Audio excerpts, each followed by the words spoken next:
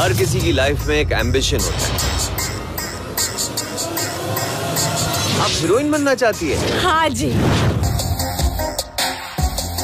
किसी ने खूब कहा है। लाइफ में एम्बिशन नहीं रहेगा तो इंसान और जानवर में फ़र्क ही क्या रह जाएगा?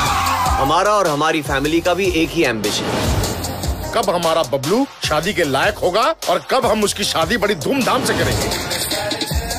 आपको जैसी लड़की चाहिए ना वैसी मिलेगी। एकदम हीरोइनी टाइप आफ्टर मैरिज तुम अपने फादर की तरह से मुस्टैच तो नहीं रखोगे ना?